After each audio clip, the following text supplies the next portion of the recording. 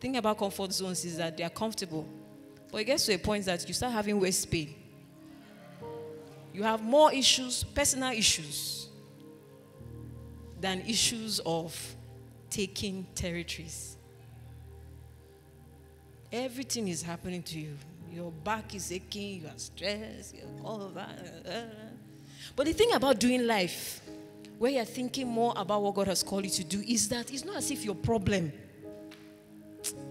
always disappear, but you tend to focus less on it, and you are more fulfilled, and you're happier, and you live longer.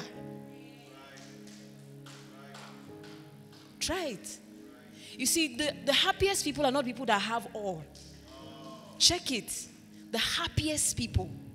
They're not people that have everything working for them. In fact, statistics show that people that have all of those things are actually not the happiest people. Try.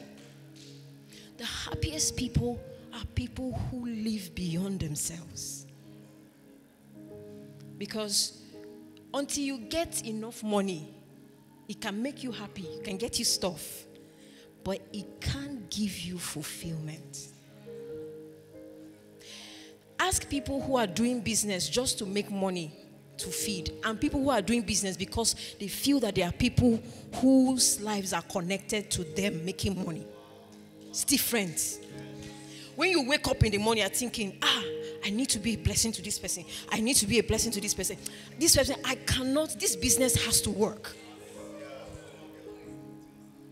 Seriously. So if you, so for some people, this is just wisdom for you. Some of you, we are struggling in your small business. Rethink, think again. What is the motivation behind our business? I am not, I don't have everything. I'm Pastor Gideon are here. Pastor Zach is here. Mr. Machuku is here. We had some struggles this week. But the truth is, every time we wake up, there's something to live for. There's something to believe for. There's something to trust God for. And it gives us life. It gives us it gives us motivation to go again.